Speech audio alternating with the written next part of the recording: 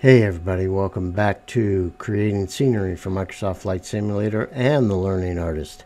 Today I'm going to talk about an app on my phone that you can download for free from the App Store. And this is an Android app.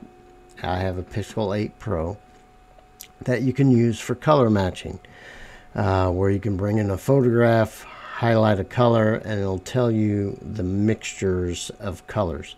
All right, now before we go on, I'm using an app uh, to cast my phone to the screen. Uh, it I, I have the free version, and that means I only get in a certain amount of time before I have to just reset. Okay, it's not reset my whole uh, OB, OBS uh, I just have to uh, reinitiate the share, okay, of my screen. So you'll see me do that every once in a while, uh, but you'll get the idea. The most important part of this video is the actual uh, color mixing app, all right? And it's down here on the bottom where it says, now I don't have a pointer, but you see where it says planes underneath the time you see planes live and then right next to it you see color mixer. That's the app all right? And that's available from the app store and it's called color mixer and it's by idea matters okay? So download that app. It's free okay? If you're doing digital art you won't have to pay a thing. If you're doing painting like i am oil painting and you use a particular brand of paint then pay the $4.29 and you'll get palettes of different paint companies. I use Winsor Newton and it's in there. I use both their acrylics and their oils and those both of those palettes are in there. Plus if you build models, Tamiya is in there and all different all different uh, brands of paints are there for you to use, okay? Let me reset here real quick, get this up and going again. All right, so if you go to the App Store, download Color Mixer. If you want particular paints, uh, pay $4.29 to unlock all the different palettes.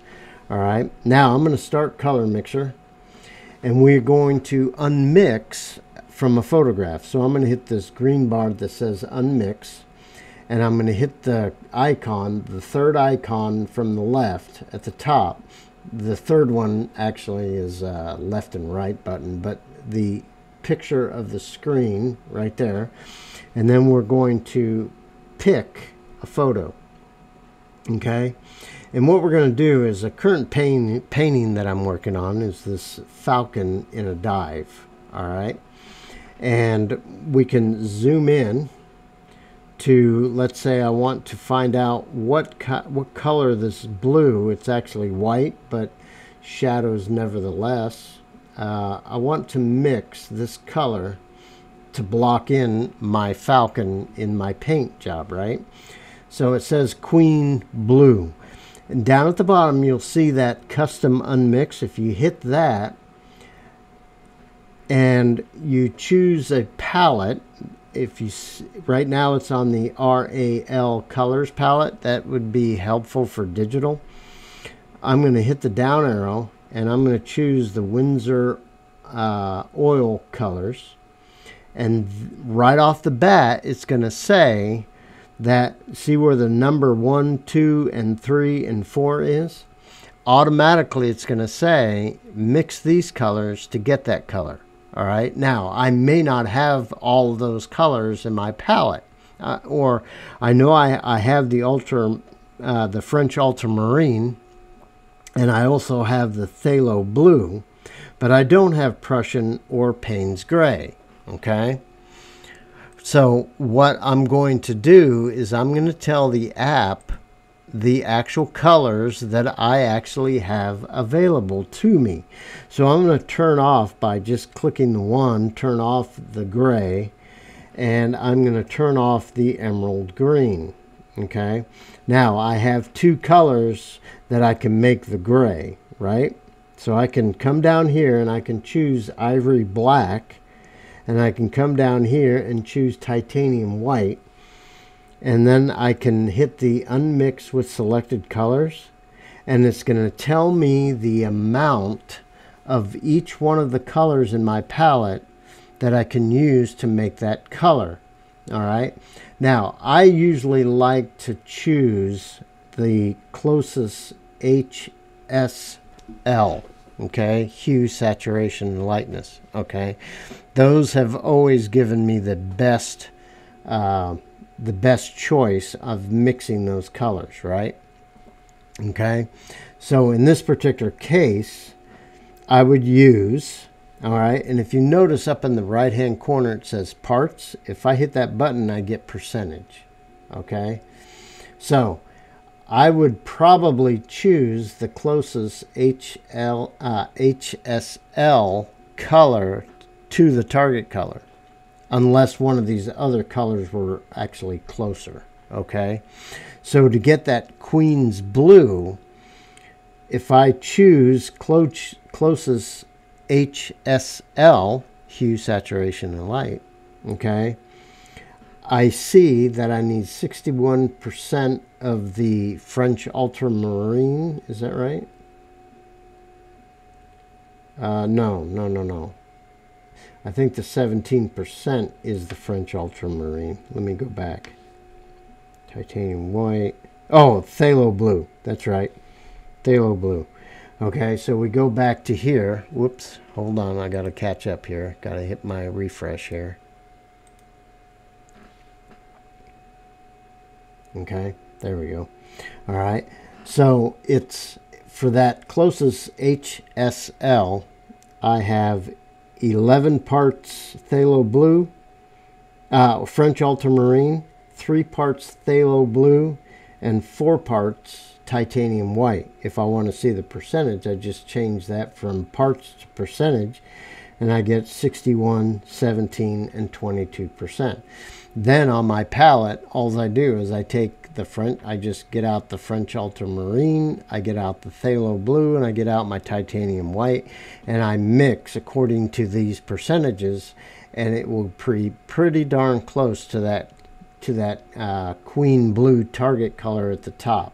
Okay, it may not be exact. Okay, you may not get it exact based if, you, especially if you don't have all the colors in the Winsor Newton palette if you do, then just use it, just use the colors it tells you right off the bat, okay? If you have every one of those Winsor Newton colors, all right? But I don't. I usually only have like uh, 10, 11 colors from their palette. Um, I don't need, I can mix colors in order to make other colors, all right? But uh, Color Mixer is an extremely useful tool. Uh, I use this in almost all of my painting, especially the aircraft that I paint. Those colors are the hardest to match.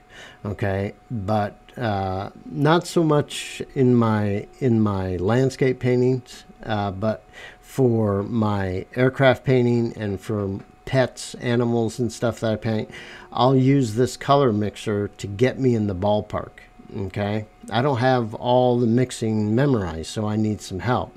So download this color mixer and use that to get you going in the right direction to mix your colors okay? Uh, you might have to adjust here and there like uh, in this particular color I might have to add maybe a little bit of another color that's not in my palette. I might have uh, maybe some ivory black or I might have some other color that I can add to it to get it even closer. But I would, in this particular case, I would use those three colors, the phthalo blue, the ultramarine, and the uh, titanium white, and it will get very, very close to that target color of Queen's blue. All right. So this is using color mixer. Like I said, if you do digital art, if you're making textures, uh, looking at pictures of buildings and your airports and stuff, and you want to match a particular color, this will tell you the color that you need. Not only, not physically mixing the colors, but it will give you a hex code of the color. Matter of fact, look at the top. Look at this Queen's Blue. Okay. That's Queen's Blue is from the photograph. Okay. Let's say if I was doing digital art, my hex code is right there. 45719 Charlie. Okay, so I would type that in as my hex code and I'll get that color that I would use. That's how I use it. That's how I find a color that I'm looking for um, for doing scenery creation. All right. So anyway, I hope this helps, especially you artists that are that struggle with color mixing. I think you're going to find Color Mixer um, a very useful app in your painting, whether you're oil painting, acrylics, watercolors, whatever. Or if you're building models and you need a uh, Tamiya paint and you want to know what colors to mix to get that uh, particular color uh, correct. All right. So I hope you guys find this video useful. Uh, the app is free. If you want additional palettes, it'll cost $4.29 and you'll have all the different palettes available to you. Matter of fact, let's uh, bring this down and let me open up the palettes. We have, you see all the different palettes that they have. Tamiya paints, uh, Gunze paints, uh, Vallejo, and Testors paints, AK interactive paints. All right, so there's all these different palettes that you can use. Okay, but those cost the four dollars and twenty nine cents to get all those palettes. Well, I hope this finds you well, and I wish you luck in all your painting. And I will see you guys on the next video. We'll see you later.